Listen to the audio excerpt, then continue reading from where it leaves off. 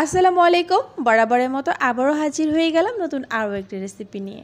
আজ বানিয়ে দেখাবো ঈদের স্পেশাল মাসালা পোলাও। এই পোলাওটা একটু ভিন্নভাবে তৈরি করা হয় সামান্য কিছু মশলাপাতি দিয়ে। আর এর স্বাদ হয় মুখে লেগে থাকার মতো। আপনি যদি এই মাসালা পোলাওটা বানিয়ে কাউকে খাওয়ান, দেখবেন সবাই কিন্তু এর রেসিপি জানতে চাইবে।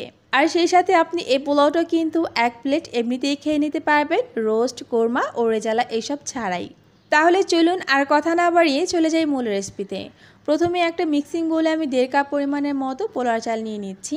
এখানে আমি চিনি গুঁড়া পোলার চালটা নিয়েছি, আপনার অন্য যে কোনো ব্র্যান্ডের পোলার চাল দিয়েও কিন্তু এটা তৈরি করতে পারবেন, অথবা বাসমতি চাল দিয়েও কিন্তু এই পোলাওটা রান্না করতে পারবেন।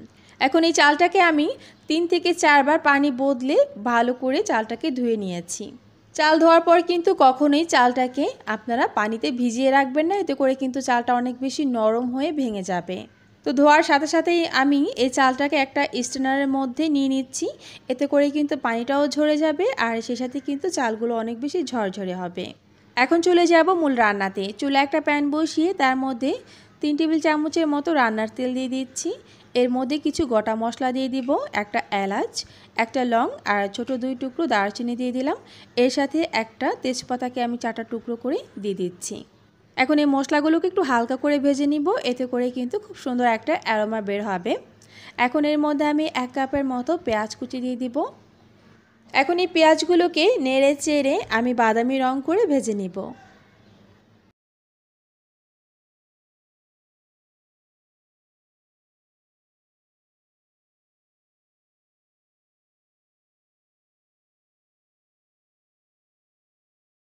তো পেঁয়াজগুলো কিন্তু আমার বাদামি রং করে ভেজে নেওয়া হয়ে গেছে। এখন এর মধ্যে আমি দেড় টেবিল চামচের মতো আদা, রসুন বাটা একসাথে দিয়ে দিচ্ছি। আপনারা চাইলে কিন্তু এখানে আলাদা আলাদা করে ব্যবহার করতে পারবেন। এখন দিয়ে দেবো এখানে দু চা চামচের মতো গরম মশলা গুঁড়ি। এখন দিয়ে দিব স্বাদ মতো লবণ। এক চামচের চার ভাগের এক ভাগ দিয়ে দিচ্ছি হলুদ আর মরিচের গুঁড়ো একসাথে। চারটা বড় সাইজের চিংড়ি মাছ দিয়ে দিব। এখানে হাড় ছাড়া মুরগির মাংস নিয়েছি আমি হাফ কাপ পরিমাণে। আর এই মাংসগুলোকে আমি এরকম ছোটো ছোটো টুকরো করে নিয়েছি।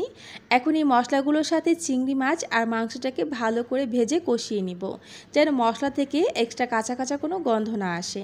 আর আমি কিন্তু এখানে ঘরে বানানো গরম মশলাটা ব্যবহার করেছি, আর এই গরম মশলাতে কিন্তু সব ধরনের মশলা দেওয়া থাকে। যেমন জয়ফল, জয়ত্রী, জিরা, ধনিয়া, লং, এলাচ, দারুচিনি, শাহি জিরা, গোলমরিচ, এই সব ধরনের মশলা দিয়েই কিন্তু আমি এই গরম মশলাটা বানিয়ে নিয়েছি।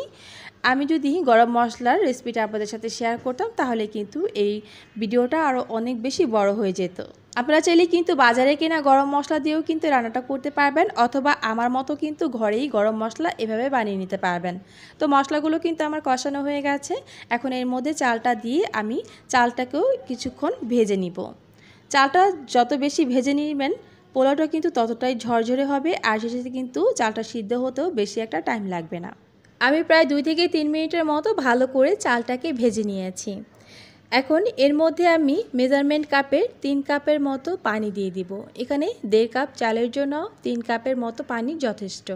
আপনারা যদি এখানে পোলা চালের পরিমাণটা বাড়িয়ে নেন সেই ক্ষেত্রে কিন্তু পানির পরিমাণটাও বাড়িয়ে দিতে হবে।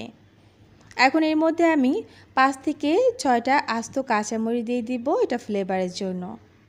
এখন আমি একটা বলক তুলে নিব। যখন বলকটা উঠে আসবে, তখন আমি চুলার আঁচটাকে একেবারেই লোতে করে দিয়ে একটা ঢাকনা দিয়ে ঢেকে দমে রেখে দিব প্রায় দশ থেকে বারো মিনিটের মতো। আর এই দশ বারো মিনিটের মধ্যেই কিন্তু এই পোলাওটা একেবারেই রান্না হয়ে যাবে। তো দেখতেই পারছেন, এই পোলাওটা কতটা পারফেক্টভাবে হয়েছে। তো আমি আপনাদের একটু চামচ দিয়ে তুলে দেখিয়ে দিচ্ছি যে এই পোলাওটা কতটা ঝরঝরে হয়েছে। আর সেই সাথে কিন্তু পানিটাও একেবারেই টেনে গিয়েছে। আপনাদের যদি এই দশ বারো মিনিটে পোলার চালটা না হয়, তাহলে আপনারা আরও কিছুক্ষণ দমে রেখে দিতে পারেন। এতে করে দেখবেন যে আপনার চালটা সুন্দরভাবে ফুটে যাবে।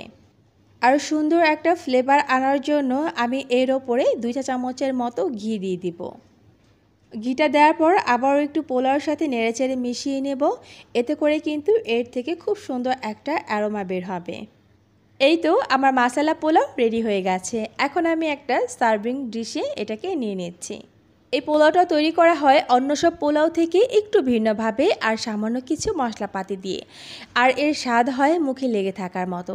আপনি যদি কাউকে এই মশলা পোলাওটা বানিয়ে খাওয়ান, দেখবেন সবাই কিন্তু আপনার থেকে রেসিপি চাইতে শুরু করে দিবে। চাইলে ঈদে কিন্তু স্পেশাল এই মশলা পোলাওটা তৈরি করতে পারেন।